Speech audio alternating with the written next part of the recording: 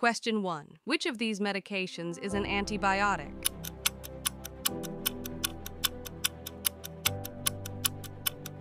Answer C. Amoxicillin. Question 2. Which medicine is used to control high blood pressure?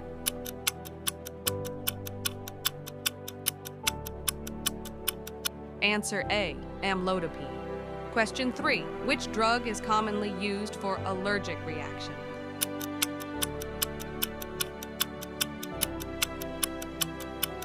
Answer C. Cetirizine. Question 4.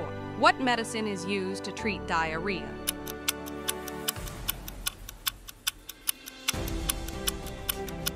Answer A. Loperamide. Question 5. Which drug is known as a painkiller?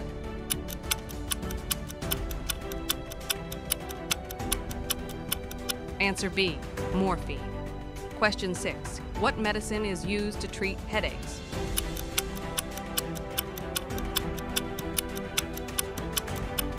Answer B. Dipirone. Question 7. Which part of the body metabolizes most drugs?